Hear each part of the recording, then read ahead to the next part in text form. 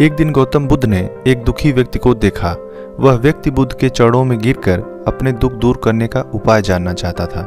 गौतम बुद्ध ने उस व्यक्ति को अपने पास बिठाया और बोले, तुम व्यर्थ में चिंतित हो रहे हो। सुख दुख हमेशा नहीं रहते। मैं तुम्हें एक कथा सुनाता हूँ। ध्यान से सुनना। किसी नगर में एक सेठ रहता था। वह बड़ा ही उदार और परोपकारी था। उसके दरवाजे पर जो भी जाता था, वह उसे खाली हाथ नहीं जाने देता था और दिल खोलकर उसकी मदद करता था। एक दिन उसके यहाँ एक आदमी आया। उसके हाथ में एक पर्चा था, जिसे वह बेचना चाहता था। उसके पर्चे पर लिखा था, सदा ना रहे। भला इस पर्चे को कौन खरीदता? लेकिन सेठ ने तत्काल उसे खरीद लिया और अपनी पगड़ी के एक छोर में बाँध लिया। नगर के कुछ लोग सेठ से ईर्ष्या करते थे।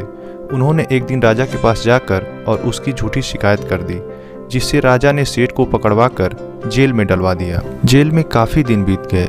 सेठ बहुत दुखी था क्या करे, उसकी कुछ समझ में नहीं आ रहा था। एक दिन अचानक सेठ का हाथ उसकी पगड़ी पर चला गया। उसने पगड़ी की गांठ को खोलकर पर्चा निकाला और उसे पढ़ा। पढ़ते ही उसकी आँखें खुल गई। उसने मन ही मन कहा, अरे तो दुख की बात क्या है? जब सुख के दिन सदा ना रहे तो दुख के दिन भी सदा ना रहेंगे।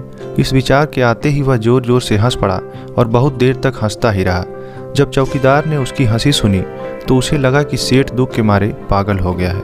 उसने राजा को खबर दी, राजा आया और उसने सेठ से पूछा, क्या बात है? सेठ ने सारी बात राजा को बता दी। उसने कहा, राजन, आदमी दुखी क्यों होता है? सुख दुख के दिन तो सदा बदलते रहते हैं। सुख और दुख तो जीवन के दो पहलू हैं। यदि आज सुख हैं तो हो सकता है कल हमें दुख का मुँह भी देखना पड़े। यह सुनकर उस राजा को बोध हो गया और उसने उस सेठ को जेल से निकलवा कर और उसके घर भिजवा दिया। सेठ आनंद से रहने लगा, क्योंकि उसे ज्ञात हो गया था कि सुख के साथ साथ दुख के दिन भी सदा नहीं रहते। बुद्ध के मुँह से यह कथा सुनकर उस व्यक्ति के मन का बोझ हल्का हो गया। उसने गौतम बुद्ध का आशीर्वाद लिया और अपने घर की ओर चल दिया।